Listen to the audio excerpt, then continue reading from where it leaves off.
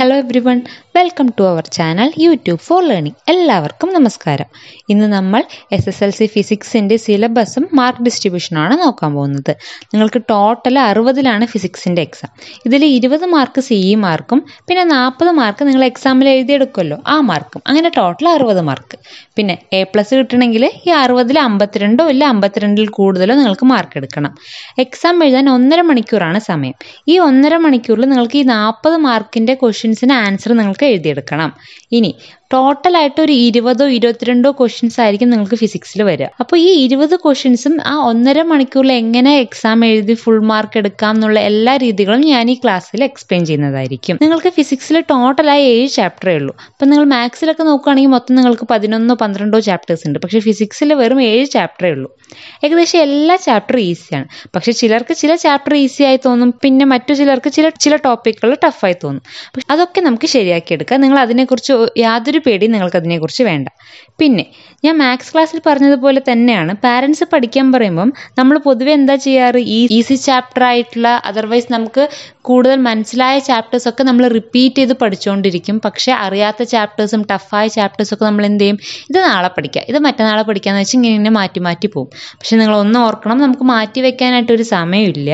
Total എത്ര subject ഉണ്ട്? പത്ത് സബ്ജക്റ്റ് ഉണ്ട്. ഈ പത്ത് സബ്ജക്റ്റിന്റെ ടഫായിട്ടുള്ള ചാപ്റ്റേഴ്സ് നിങ്ങൾ ഇങ്ങനെ ഇങ്ങനെ മാറ്റി മാറ്റി വെക്കുകയാണെങ്കിൽ എക്സ് ലാസ്റ്റത്തെ എക്സാം തന്നെ അടുക്കാറാവും. സോ നിങ്ങൾ ഒരു ചാപ്റ്ററും ഇതുപോലെ മാറ്റി വെക്കരുത്.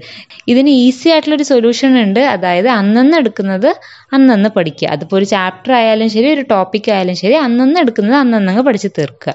അത് പറ്റിയില്ലെങ്കിൽ മാക്സിമം ആ ആഴ്ചക്കുള്ളിലെങ്കിലും പഠിച്ച് തീർക്കാൻ ശ്രമിക്കുക. അങ്ങനെ പഠിച്ചാൽ മാത്രം പോരാ. പിന്നെ വേറൊരു ഇമ്പോർട്ടന്റ് കാര്യമുണ്ട്. എന്താണ്?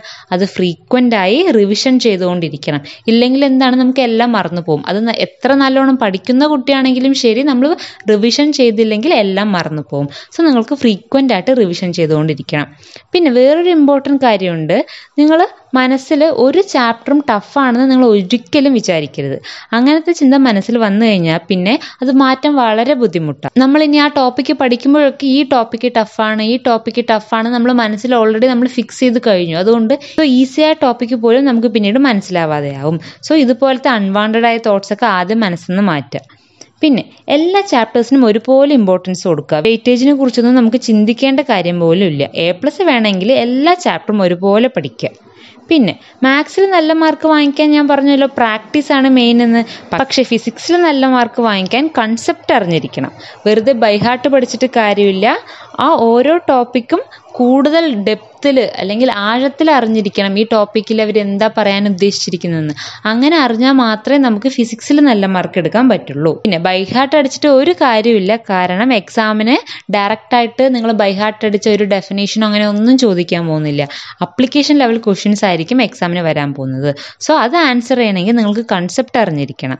ടോപ്പിക്കിന്റെ ഡെഫിനേഷനോ ഓർ നാലഞ്ച് ഇക്വേഷനോ അറിഞ്ഞിട്ട് എങ്ങനെയെങ്കിലും ഒപ്പിക്കാം എന്നൊക്കെ വിചാരിച്ച് നിങ്ങൾ എക്സാമിന് പോകരുത് ഓരോ ടോപ്പിക്കിനെ കുറിച്ച് നമുക്ക് ഡെപ്തായ നോളജ് വേണം. ഡെപ്ത് ഡെപ്തായ ഭയങ്കര ഡെപ്തായ നോളജ് ഇല്ലെങ്കിലും കുറച്ചെങ്കിലും ആ ടോപ്പിക്കിനെ കുറിച്ച് അറിഞ്ഞിരിക്കണം. നോർമലായിട്ട് ചോദിക്കുന്ന ക്വസ്റ്റിനേക്കാളും കുറച്ച് ട്വിസ്റ്റ് ചെയ്ത് ക്വസ്റ്റ്യൻ ചോദിച്ചു കഴിഞ്ഞാലും നമുക്ക് ആൻസർ ചെയ്യാൻ പറ്റുന്ന രീതിക്ക് നമ്മൾ പഠിച്ചിരിക്കണം.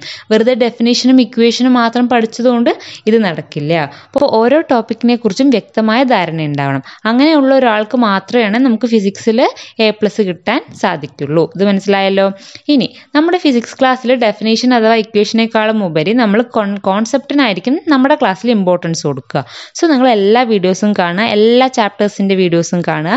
മനസ്സിലാവാത്ത പോർഷൻസ് ഉണ്ടെങ്കിൽ വീഡിയോ ഒന്ന് റിപ്പീറ്റ് ചെയ്ത് കാണുക. വീണ്ടും നിങ്ങൾക്ക് ഡൗട്ട്സ് ഉണ്ടെങ്കിൽ അത് എന്നെ കമന്റ് സെക്ഷനിൽ അറിയിക്കുക. അല്ലെങ്കിൽ എന്റെ മെയിൽ ഐ ഡി ഞാൻ കൊടുത്തിട്ടുണ്ട്. ആ മെയിൽ ഐ ഡിക്ക് നിങ്ങൾ മെയിൽ ചെയ്താൽ മതി. അതിന്റെയൊക്കെ ആൻസേഴ്സ് ഞാൻ എത്രയും പെട്ടെന്ന് നിങ്ങൾക്ക് അയച്ചു തരുന്നതായിരിക്കും. എല്ലാവരും ഞങ്ങളുടെ ചാനൽ സബ്സ്ക്രൈബ് ചെയ്യുക തൊട്ടടുത്തുള്ള ബെല്ലൈക്കണും പ്രസ് ചെയ്യുക. അപ്പം ഞാനിടുന്ന എല്ലാ വീഡിയോസും നിങ്ങൾക്ക് ഉടനെ ഉടനെ കാണാം. വീഡിയോ ഇഷ്ടപ്പെട്ടാൽ ലൈക്ക് ആൻഡ് ഷെയർ ചെയ്യുക. Stay tuned thank